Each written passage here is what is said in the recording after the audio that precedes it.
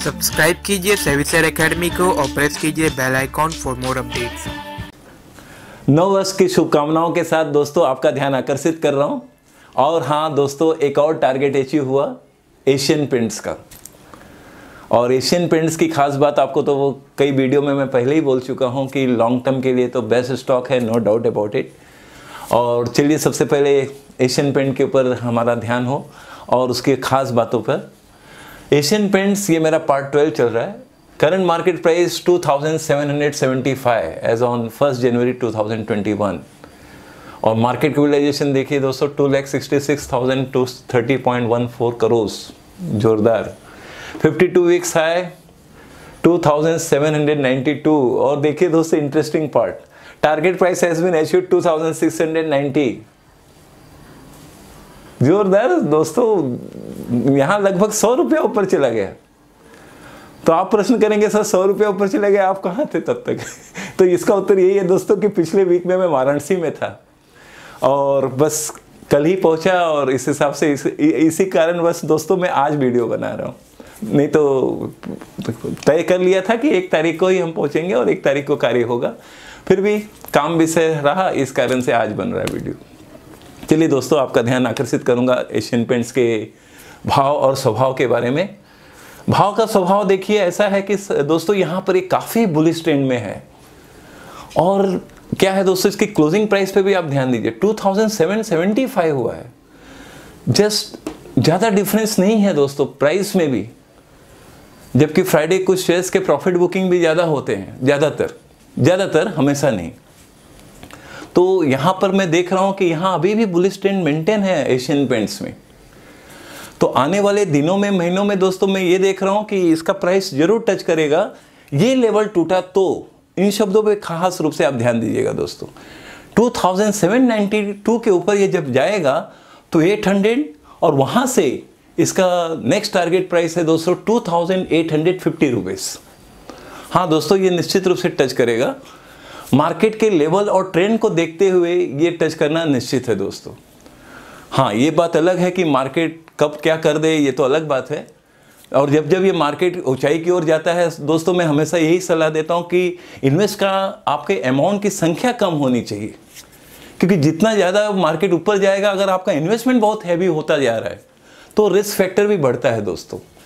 इसके लिए मैं यही कहूँगा कि आप कम पैमाने पर ही इन्वेस्ट करें। जिससे कि आप कंफर्टेबल फील करें मार्केट नीचे आया भी तो नो प्रॉब्लम फिर हम नीचे में और ख़रीद लेंगे। ऐसा सोचकर चलना चाहिए। तो दोस्तों एकदम बात क्लियर कट पॉइंट पर आ गया कि इसका नेक्स्ट टारगेट प्राइस है two thousand eight hundred fifty rupees बस इतना ही कहना था दोस्तों। हाँ दोस्तों, चलिए अब आपको फिर से मैं पार्ट फोर की तरफ़ ले जा रहा हूँ। 1991 जो मेरी चौथी गलती थी, वो दोहराने जा रहा हूँ। तीसरी गलती तो मैंने पिछले वीडियो में ही बता दिया आपको। आप जानते ही हैं कि मैंने क्या गलती किया। उस तीसरी चौथी, उसमें शामिल ही रहा। फिर भी मैं अपने शब्दों में एक नया पॉइंट बता भी रहा हूँ कि जो उन दिनों में मैंने क्या गलतियाँ किया है, किया था और वो आपके समक्ष उपस्थित कर रहा हूँ, उन शब्दों को भी, उन बातों को भी। दोस्तों, उस समय ऐसा दौर था कि सभी लोग शेयर मार्केट में दौड़ने लगे दोस्तों। जो आप जानते हैं बॉम्बे स्टॉक एक्सचेंज का इस्टेब्लिशमेंट हुआ था 1875 में, दोस्तों। 1875 से बॉम्बे स्टॉक एक्सचेंज है। इतनी उपलब्धि, इतनी बात, इतना ध्यान, इतना लोगों का प्रवेश बिल्कुल नहीं था।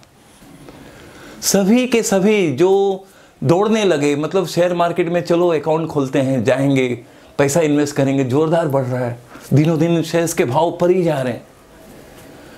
तो अब हमने क्या किया कि, अब मैंने क्या किया स्पेशली कि मैंने देखा एक दो स्टॉक में ही सारा पैसा इन्वेस्ट करना शुरू कर दिया दोस्तों। तो कभी भी दोस्तों की अच्छा जो रकम आया या जो रकम मैंने अपने दोस्तों से लोन के रूप में लिया, वो एक या दो स्टॉक में ही सारा पैसा जा रहा था। जिसका परिणाम दोस्तों बहुत बुरा हुआ।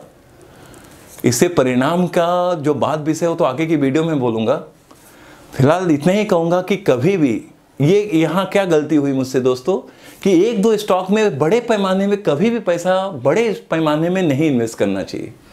इसीलिए कहा गया है कि डाइवर्सिफाइड डाइवर्सिफाइड पोर्टफोलियो ही होना चाहिए। डाइवर्सिफाइड पोर्टफोलियो का मतलब यही हुआ दोस्तों कि आप तीन, चार, पाँच सेक्टर में अलग अलग रूप में पैसा इन्वेस्ट कर रहे हैं अलग अलग कंपनियों में पैसा इन्वेस्ट कर रहे हैं, जिससे आपका रिस्क पॉइंट कम होने लगता है। रिस्क ज़्यादा हैवी कब होगा कि एक ही दो कंपनी में मैंने बहुत बड़ी पैमाने में पैसा इन्वेस्ट कर दिया? वो गलत कदम होता है दोस्तों स्टॉक मार्केट में। आप ये ध्यान रखिए, कभी भी आपका कम से कम चार से पाँच अलग अलग सेक्टर में इन्वेस्ट होना चाहिए। चार से पाँच अलग अलग कंपनियों में पैसा इन्वेस्ट होना चाहिए। जो बखूबी हर तरफ़ से ग्रोथ ओरिएंटेड हो। तो यही मेरा कहना है।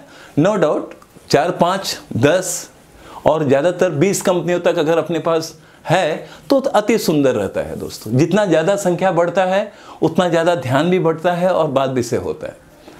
तो मेरी सबसे बड़ी गलती क्या हुई दोस्तों? वो फिर से दोहरा रहा हूँ कि मैंने एक या दो दो स्टॉक में बहुत ज़्यादा पैसा इन्वेस्ट कर दिया। और उसका परिणाम बहुत घातक हुआ दोस्तों।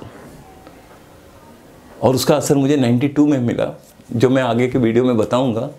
अभी तो यही कहूँगा कि ये गलती क्या हुई कि कभी भी आप ध्यान में लीजिए दोस्तों नोट कर लीजिए इस बात को कि कभी भी एक या दो कंपनी में बड़े पैमाने पे पैसा कभी नहीं इन्वेस्ट करना चाहिए। बड़े पैमाने पे मैं कह रहा हूँ। अगर आप कभी एक दो कंपनी ले लिए, भाई चलो ठीक है, पाँच दस हज़ार रुपये इन्वेस्ट कर लिया वो कोई बड़ी बात नहीं, वो ठीक है अपनी जगह। लेकिन बड़े पैमाने पर जब बड़ा बजट में आप जाते हैं तो कभी भी आप एक दो कंपनी में नहीं, कम से कम पाँच छः कंपनियों में इन्वेस्ट होना चाहिए, दस कंपनी में इन्वेस्ट होना चाहिए। और जैसे मैंने अभी बताया, बीस कंपनी तक है इन्वेस्टमेंट तो ठीक है। बस यही कहूँगा दोस्तों, बाकी आप हैं, हम हैं, आप सदैव हैं। और आप हमारे सर्विसेज़ के बारे में सारी जानकारी आपको तो अब है ही है। फिर से दोहराऊँगा दोस्तों कि सीनियर सिटीजन वरिष्ठ नागरिकों के लिए मैंने स्कीम ऑन कर दिया है। आज से लागू है कि जो कोई भी मेंबरशिप हमारे एकेडमी का लेंगे, कोई भी सीनियर सिटीजन स्पेशली उनके लिए 50 परसेंट डिस्काउंट है only for one year membership only for one year membership के लिए 50 परसेंट डिस्काउंट है. तो आइए आपका स्वागत है और आपका आशीर्वाद सदैव हमारे साथ है। चलिए फिर मिलते हैं, फिर मिलते हैं।